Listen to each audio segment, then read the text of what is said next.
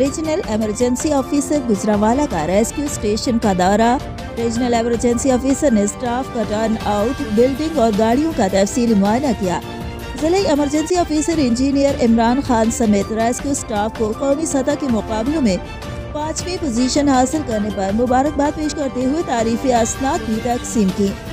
Regional emergency officer Gujranwala Syed Kamal Abid ने अपनी team के हमरा central station rescue one one two two का दौरा करके स्टाफ के टर्न आउट बिल्डिंग और गाड़ियों का मुआयना किया और कारकर्दगी रिपोर्ट्स का भी बगौर जायजा लिया। और अपने इतमान का इजहार किया। इस मौके पर उनका कहना था कि उनके दौरे का बुनियादी मकसद रेस्क्यू स्टेशन के इस्तेदादकार को जांचना और दस्तियाब वसाइल से आगाही हासिल करना है।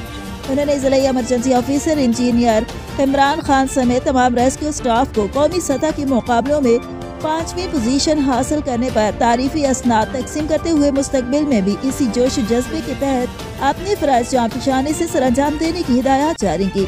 इस मौके पर ज़िले emergency officer engineer Imran Khan ने regional emergency officer Syed Kamal Abid का रेस्क्यू एहलकारों की हौसला अफजाई पर शुक्रिया अदा किया और कहा कि उनकी आमद से रेस्क्यू एहलकारों का हौसला मजीद बुलंद हुआ है और इस तरह के दौरों से सर्विस के मैार को मजीद बेहतर बनाने में मुआवनत और रहनुमाई हासिल होगी।